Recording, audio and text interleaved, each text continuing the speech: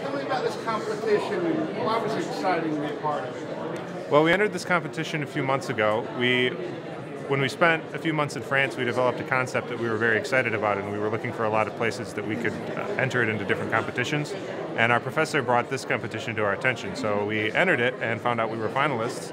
We were very excited because we are interested in taking the concept forward, and we thought this was a good, really good place to start making a lot of connections with different people that could help us uh, find the resources we need to take it to the next level. What's exciting about working on this? What did you learn? So the most exciting part for me was actually the process of creating the videos and our submission to the competition. There was a lot of graphics and writing, and that's something that was really exciting for me.